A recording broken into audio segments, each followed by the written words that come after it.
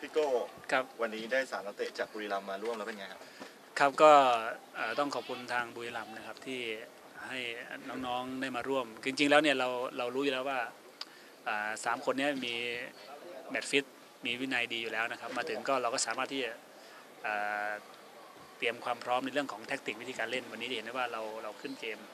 แล้วก็แล้วก็สร้างความเชื่อมั่นให้กับเพื่อนๆด้วยฉะนั้นวันนี้ค่อนข้างที่เป็นที่น่าพอใจในการซ้อมนะครับนะ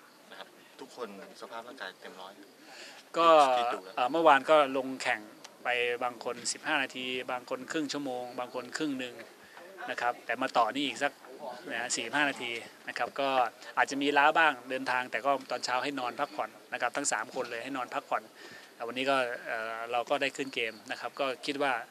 ไม่น่ามีปัญหาอะไรนะครับ เดี๋ยวว่าให้แช่นะฮะน้ำอุ่นน้ำเย็นนะครับก็น่าจะผ่อนคลายนะครับ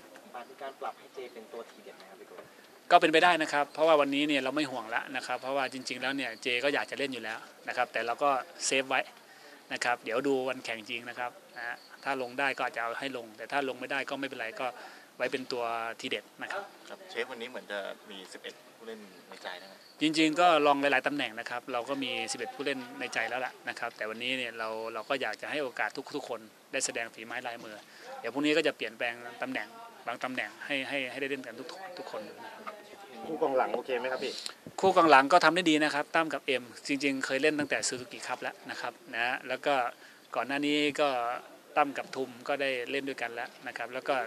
ตั้มกับมิก้าก็เคยเล่นตอนคิงส์คัพแล้วนะครับเห็นว่าจะมีการปรับโปรแกรมกับกรุงเทพอ่าเราจริงๆนะก็ ตั้งใจว่าจะกลับวันที่ 10นะครับเพราะว่าจะได้ไปลองใช้สนามราชมังคลาด้วยนะครับตอนแรกเรากล่าวว่าเอ่อจะกลับวันที่ 11นะครับแต่มันจะไม่ได้เปรียบนะครับก็คิดว่าดูสมรรถภาพร่างกาย แล้วก็นักเตะทุกคนค่อนข้างมีวินัยแล้วก็มีความพร้อมอยู่แล้ว เราก็ไม่น่าห่วง ตอนแรกเราคิดว่าจะไม่พอ แต่ตอนนี้ความมั่นใจก็น่าจะร้อยเปอร์เซ็นต์แล้วนะครับขอบคุณครับพี่โก้ตกลงกับวันที่ไหนพี่